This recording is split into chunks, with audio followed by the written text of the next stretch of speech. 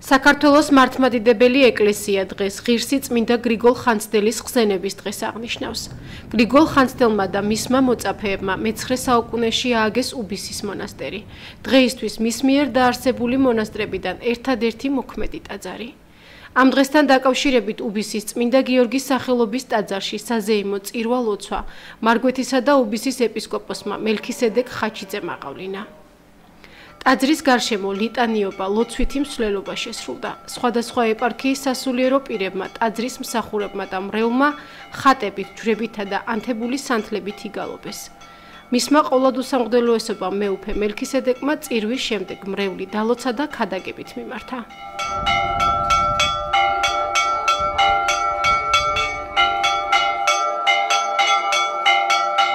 მინდა გრიგოლ ხანძთელი გამორჩეული იყო თავისი სულიერებით, თავისი განათლებით, შესაძაც მას შეთავაზებენ სასულიერო პირება, პირობას რომ ის გახდეს სასულიერო პირი, ის რას ამბობს? პატივსავ ხედავ და პატიჟისაგან მეშინის. მან ძალიან კარგად იცოდა რას ნიშნავდა იყო ადამიანის სასულიერო პირი და მას დაარწმუნებენ რომ ის აუცილებლად უნდა გახდეს სასულიერო პირი და ის თანხდება და როდესაც მას დემთავრობა შესთავაზებენ უკვე გარბის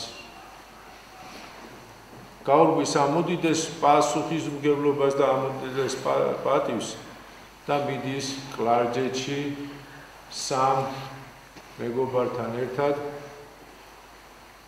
რომლებიც ერები არიან, გამორჩეულები არიან ესენიც თავიანთი მოღვაწეობით და იწყებენ კლარჯეთში მოღვაწეობას. ღმერთმა მოგცეს ძალა იმისა, რომ ერი და ბერი ერთად ვიდგენ ღვთისადიდებლად. ამინ. და ჩვენი ქვეყნის სიძლიერისთვის. ღმერთმა გაგვაძლიეროს.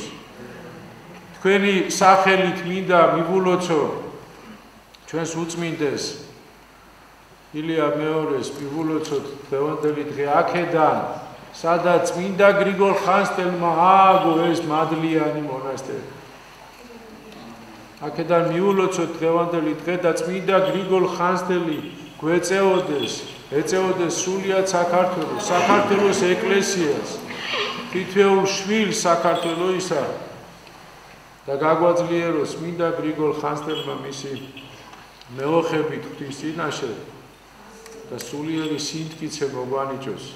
დღევანდელი დღის მნიშვნელობაზე და გრიგოლ ხანძთელის მოღვაწეობაზე გვესაუბრება მონასტრის იღუმენი მამა პაისი, რომელიც დღეს არქიმანდრიტის ხარისხში იქნა აყვანილი.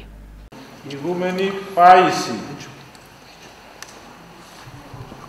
აყვანილია არქიმანდრიტის ხარისხში აქსიოს. აქსიოს.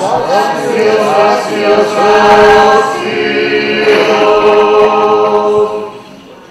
ჩვენ ახლა ტაძარში ვიმყოფებით უბისის მადრიან მონასტერში მამათა მონასტერში სადაც გრიგოლ ხანძელი თავის მოწაფეებთან ერთად მე-9 საუკუნეში აი ამ მიდამოებში მოგზაურობდა და ტაძრის ასაშენებლად დიდ ღვაწს გაიღებდა.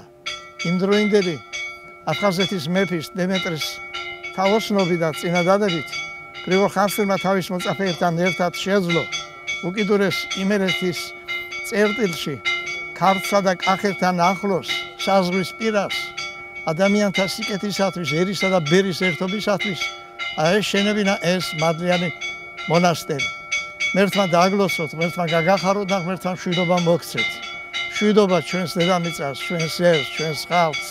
იულოსავთ პატრიარქს, მეუფე მელქისედეკს, სამღვდელოებას, მარგვეთისა და უბისის ეკლესიის ყველა მონაწილეს, ყველა წევრს, ყველა მართლმადიდებელი ქრისტიანს. ერთმან შვიდობა თქვენს ოძახებსა და თქვენს სულსა და გულში მოგცეთ. ამინ. ჩვენთან არსმეს. ხარაგაულის მუნიციპალიტეტში ამ დღეს უბისობასაც ზეიმობენ. როგორც მერმა კობალ ურსმანაშვილმა თქვა, ამ მნიშვნელოვან დღესასწაულს უფრო მასშტაბურ ხასიათს მისცემენ მომავალში. ზოგადად დიდი ტრადიცია აქვს, მაგრამ იყო წლები, როდესაც ჩვენ ესე ვერ აღნიშნავდით უბისობის დღესასწაულს. მეუფის ინიციატივით და ზოგადად ადგილობრივი ხელისუფლების მონდომებით ეს დღესასწაული კიდევ უფრო მეტად გვინდა გავაძლიეროთ. მომავალში ვფიქრობთ, რომ ეს იყოს ხარაგაულის ერთ-ერთი გამორჩეული და მასშტაბური დღესასწაული, გვინდა რომ სახალხო დღესასწაულათაც ვაქციოთ. ხუთი მონასტერი ააშენა დიდმა საეკლესიო მოღვაწემ, მამა გრიგოლ ხანძთელმა. ისტორიული წყაროების მიხედვით იგი იყო მის მიერ დაარსებულ მონასტრებში გაჩაღებული მრავალმხრივი კულტურულ-საგანმანათლებლო საქმიანობის სულის ჩამდგმელი. რა თქმა უნდა დღევანდელი დღე ძალიან მნიშვნელოვანია როგორც მეუფე მათი გადაგა მამაპაისი მათი. ეს იყო მართლა ურთულეს დროს მოღვაწეობდა გრიგოლ ხანცდელი და საქართველოს გაერთიანებაში ძალიან დიდი წვლილი მიუძღვის.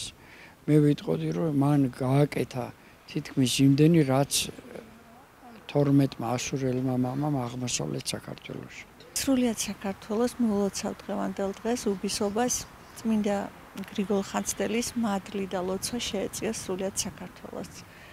ვილოცავ ასევე მამაპაის არქიმანდრიტის წოდებას და თელ მრევლს სულიერ სიძლიერეს და ღვთის მადლს.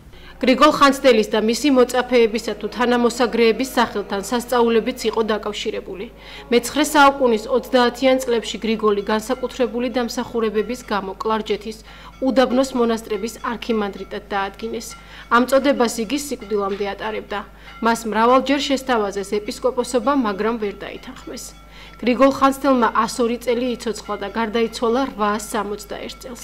საქართველოს ეკლესიამ წმინდანად შერაცხა იგი და უწოდა ღირსი მამა. მისი ხსენების დღეა 18 ოქტომბერი. მისი გარდაცვალებიდან 90 წლის შემდეგ 951 წელს დაწერა გიორგი მერჩულემ ჰაგიოგრაფიული თხზულება გრიგოლ ხანძთელის ცხოვრება, რისთვისაც გამოიყენა გრიგოლ ხანძთელის მოწაფეთა ნაამბობი და სხვადასხვა ისტორიულ-ლიტერატურული წყაროები.